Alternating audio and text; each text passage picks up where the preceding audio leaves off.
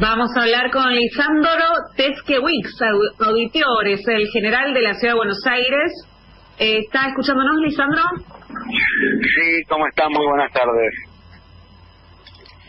Buenas tardes, Lisandro Tesquewix, eh, auditor general de la Ciudad de Buenos Aires, ¿verdad?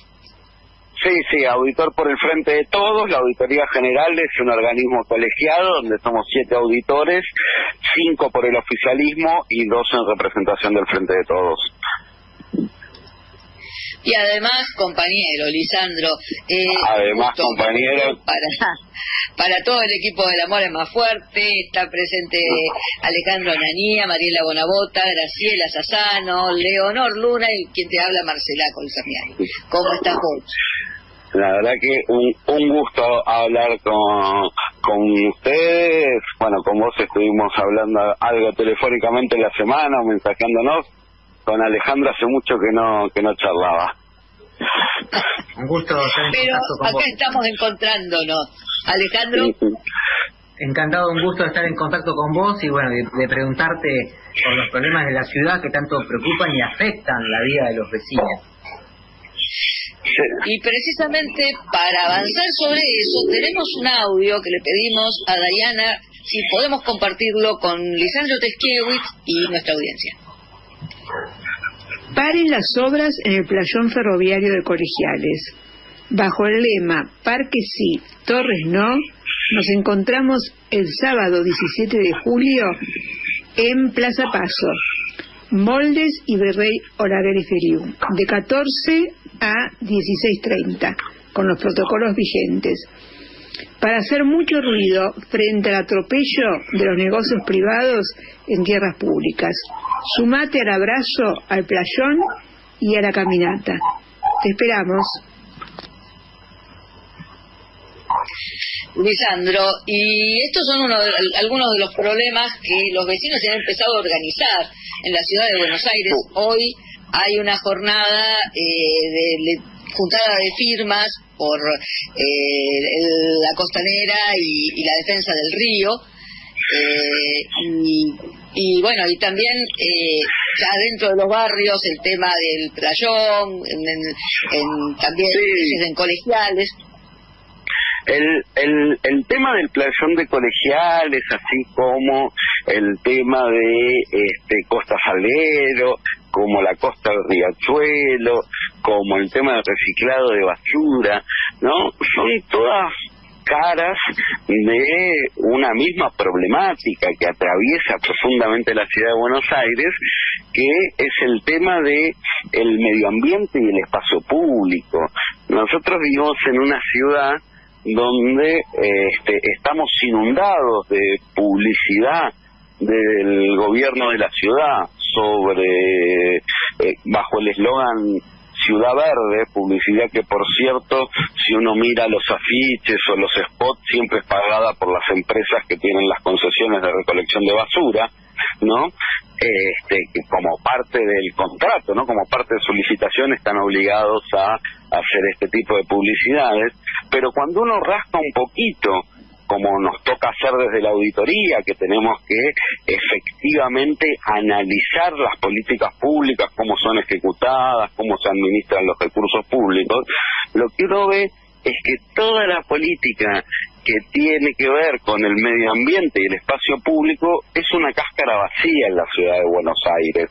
El problema del playón de colegiales es un problema gravísimo. Primero las tierras están en litigio, ¿no? Son tierras nacionales que fueron este, entregadas a la ciudad de Buenos Aires durante el gobierno de Mauricio Macri, cuando eh, este, ambos gobiernos estaban bajo un mismo signo político y que hoy están impugnadas a transferencia en la justicia, ¿no? Pero con esa impugnación vigente, el gobierno de la ciudad avanzó en la venta de terrenos y ahora avanzó en el cambio de la ley de catastro de la ciudad para permitir directamente en ese predio y pareciera la ley el cambio de la ley de catastro pareciera tener este, un nombre y apellido con ese predio, este, permitir la construcción del primer barrio privado en la ciudad de Buenos Aires, ¿no? Ellos han cambiado el catastro para permitir la construcción de calles privadas dentro de lo que sería el predio de colegiales, en una ciudad en donde nosotros tenemos menos de la mitad de espacio verde por habitante de lo que la este, Organización Panamericana y la Organización Mundial de la Salud indican corresponde para tener un ambiente saludable de vida. Y el gobierno de la ciudad, en sus supuestas políticas de medio ambiente, cuando nos habla de espacios verdes, lo que pone son canteros, cuando no directamente, estos no sé si ustedes han visto, están en muchos lugares de la ciudad, jardines verticales, por ejemplo, en todos los cruces del ferrocarril Sarmiento, que no son otra cosa que pequeñas bolsitas de tierra con una con una planta que este, viven menos de tres meses y deben ser repuestas porque por supuesto la poca tierra que tienen allí no les permite vivir y que por lo tanto de ninguna manera puede ser considerado un espacio verde. Un espacio verde debería ser una zona absorbente de lluvias, etcétera, etcétera. Pero la verdad que todas estas cuestiones son eso, son muestras de una política vacía. En el año 2019, nosotros lo hemos informado este, oficialmente en un informe de la auditoría, en el año 2019 el gobierno Horacio Rodríguez Larreta llegó al colmo de eliminar el organismo que se encargaba del saneamiento del riachuelo. ¿no? La ciudad de Buenos Aires tiene una cantidad de responsabilidades sobre el saneamiento del riachuelo ordenadas por la Corte Suprema de Justicia y lo que hicieron fue dividir todas las competencias en varios organismos y eliminar un organismo que tenía eso como, como función específica. ¿No? Este, ahora, en estos días también sacamos otro informe oficial de la auditoría en, lo que en el que relevamos eh, la política de tratamiento de residuos sólidos urbanos, así se llama técnicamente, es lo que habitualmente todos conocemos como reciclado de basura, ¿no? Y lo que nos da nuestro informe es que el gobierno de la ciudad no invierte en tecnología, siguen las pocas plantas de reciclado que hay en la ciudad, siguen trabajando con la misma tecnología desde hace 20 años, este, donde nos da que la ciudad no registra, no sabemos cuánta basura, efectivamente cuánto, cuánto material se recicla, se obtiene y se vende, ni a quién se vende lo obtenido de ahí, ni a qué precio, este, nos encontramos con que la ineficiencia en la gestión llegó a tener paralizado el centro de recuperación de solo cinco que tiene la ciudad. Uno, el de Retiro Norte, llegó a estar paralizado durante 15 meses porque organizaron mal la mudanza, porque decidieron desarmar el que estaba antes de tener disponible el predio en el que lo tenían que mudar y entonces estuvimos 15 meses con un centro de reciclado menos. Este, nos encontramos con que todas las contrataciones del área se hacen por necesidad y urgencia a partir de un decreto, el 433, en vez de hacerse como corresponden las licitaciones según la ley de compras de la ciudad. Y entonces lo que vemos es que hay mucha publicidad, el jefe de gobierno todos los primeros de marzo, cuando abre la agenda legislativa, todos los años sistemáticamente habla de medio ambiente, habla de ciudad verde, habla de reciclado de basura y sin embargo no están llevando adelante ninguna política en ese sentido y vacía los organismos que la debieran llevar. Ustedes recuerdan, la ciudad de Buenos Aires tenía una ley de basura cero. Esa ley, votada a principios del siglo, decía que para el año 2020 la ciudad de Buenos Aires no tenía que enterrar un solo gramo de basura. Bueno, esto no es así, seguimos enterrando miles de toneladas y cuando ya se veía que la que esta ley no se iba a cumplir, la propuesta que llevó el gobierno de la ciudad a la legislatura es volver a poner incineradores y quemar basura. Eh, ¿Y cuál, cuál, debería, dos cosas, una, cuál, de, cuál debería ser la acción de gobierno respecto de la basura? O sea, esto es interesante para que el público lo conozca porque es un tema que se habla muy poco, qué debería pasar con la basura, es un tema de todos los días porque todos generamos basura. Y después te quería preguntar por el tema de la salud en este momento de pandemia y cómo es la gestión de la ciudad. Pero vamos por tema. ¿Qué debería suceder con la basura?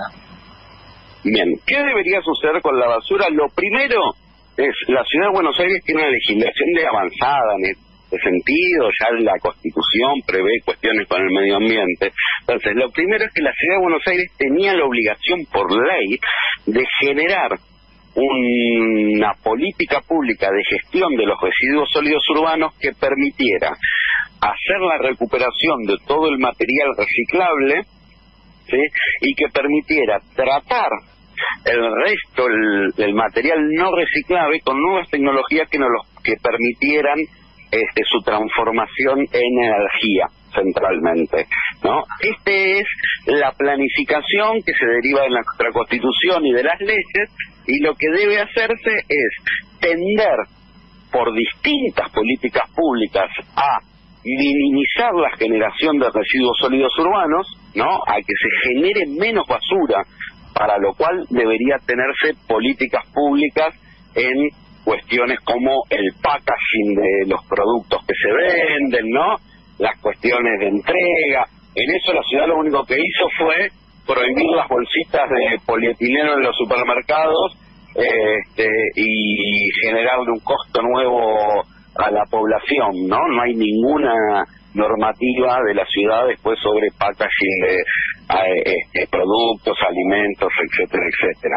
Pero digo, políticas que tendrían que ir por ahí, políticas que tendrían que ir por el tratamiento que se hace de los residuos una vez que han sido generados. Primero tratar que se genere menos. Después tratar los residuos generados a través de procedimientos que permitan separar lo reciclable de lo no reciclable y lo no lo reciclable recuperarlo y recuperar su valor económico y lo no reciclable tratarlo a través de tecnologías que ya existen en el mundo para irlo transformando en energía y no en desechos que deben enterrarse. De todo esto la ciudad no hace nada. Lo único que hace son publicidades que le dicen al vecino que la responsabilidad es de él. ¿no? Y entonces le dicen, bueno, aprende a separar, acá, en esto, saca lo otro, cuando en realidad lo que nosotros tenemos, si todos los vecinos de la ciudad de Buenos Aires tomaran los consejos de las publicidades y se separaran y demás, no tendríamos dónde procesar eso. Pero además, digamos, lo que lo que corresponde es que las políticas públicas sean desarrolladas por el Estado. Nosotros tenemos, insisto, hablamos de la contaminación y la separación de residuos hogareños, ¿no? Pero tenemos el principal foco de contaminación ambiental de la ciudad es el riachuelo, y el riachuelo no se contamina por residuos hogareños, ¿no? Se contamina por empresas, se contamina por una cantidad de cosas. Bueno, el gobierno de la ciudad disuelve el organismo que está encargado de su saneamiento. Entonces, lo que hay es como un doble discurso permanente. En realidad no un doble discurso, un discurso que habla del medio ambiente y una práctica política que lo daña cada vez más. Lo primero que debería hacer la ciudad es terminar con esto. Lo segundo que debería hacer es aplicar las políticas públicas que ordenan las leyes y la Constitución en el sentido de recuperar la ribera del Río de la Plata como espacio público, este, avanzar en el saneamiento del riachuelo y avanzar en políticas de tratamiento de la basura que permitan la recuperación del material reciclable y la conversión en energía del resto. Eh, muy eh, estaba escuchándote Lisandro y, viendo bueno cuántas cosas cuántas cosas el gobierno de la ciudad dice que dice que hace y en definitiva vos nos estás explicando que desde la auditoría ustedes comprueban que no pasan no eh, y, qué recursos tiene el ciudadano la ciudadana para para bueno para hacer eh, cumplir las leyes las leyes medioambientales, hoy usted ha estado ocupando de eso. Sí, sí. A ver, siempre hay un primer recurso que es el de votar mejor, pero más allá de este, de, de este recurso, este, el recurso central pasa un poco por lo que ustedes decían al inicio de nuestra conversación, ¿no? por la organización a nivel barrial, a nivel comunal, de ir poniendo sobre la mesa los reclamos y las situaciones que se viven en cada barrio. Nosotros hemos tenido una experiencia este, fabulosa con el tema de la costanera, si bien todavía es una lucha que sigue en marcha, la cantidad de movilización de vecinas y vecinos de la ciudad alrededor de que no nos pongan torres de 30 pisos eh, a la vera del río, este, demuestra que la organización vecinal puede conseguir cosas. Yo creo que en ese mismo sentido, en ese mismo proceso, si se logra, va lo del playón de colegiales. Si los vecinos de colegiales, si los vecinos de la Comuna 13 logran un buen nivel de organización y de poner sobre la mesa esta discusión, yo creo que incluso que podría ser una consulta pública o una iniciativa popular impide el avance de estas obras. Ahí, por supuesto, además hay cuestiones este, judiciales o legales, pero que cada, cada quien deberá este, evaluar si las quiere hacer o no, ¿no? Presentaciones de amparos y demás, en el caso de colegiales, yo insisto, es este, realmente inaudito que se esté avanzando con obras, que se hayan instalado obradores, que esté la maquinaria en tierras que hoy están judicialmente en disputa, ¿no? Este, el Estado Nacional dice que le pertenecen y la ciudad no, no dice ya que le pertenecen, dice que las recibió legítimamente y que ya las vendió. ¿no? Ahí tenemos este digo, hay, hay una cantidad de acciones que se pueden hacer, pero que requieren siempre la organización de vecinas y vecinos, porque no son los individuos los que producen cambios en las políticas públicas, son los colectivos. Afortunadamente, Lisandro, eh, la ciudadanía se ha ido organizando. en la Comuna 13, los, ciudadanos, los vecinos de colegiales participan y deciden. En la Comuna 12 y 11, los, vecinos de Salvemos el Barrio. Eh, también eh, los vecinos de Coglan organizados. Ah, de la Comuna 12 también. afortunadamente, bueno, la ciudadanía se está poniendo en, marcha y esperemos que, como vos sugerís también, eh, se llegue a votar eh, algo algo que sea superador de este gobierno de la ciudad. Tenemos que ir despidiéndote, Lisandro, pero eh, vamos a seguir conversando con vos, si te parece, porque quedaron muchos temas, el tema de, de las escuelas que eh, vos señalás en un informe, la destrucción sistemática de la infraestructura escolar pública y el recorte de fondos sobre las escuelas y también sobre el Hospital Tornú y otros, pero lo deberemos para otra oportunidad. Te agradecemos nuevamente este contacto. Cuando ustedes quieran, siempre voy a estar a disposición. La verdad que hay muchísimos temas, como decías bien, la infraestructura pública, tanto en educación como en hospitales, está prácticamente abandonada y de eso también tenemos mucha información en la auditoría y se lo estamos remitiendo a la legislatura y al Ejecutivo para que hagan algo.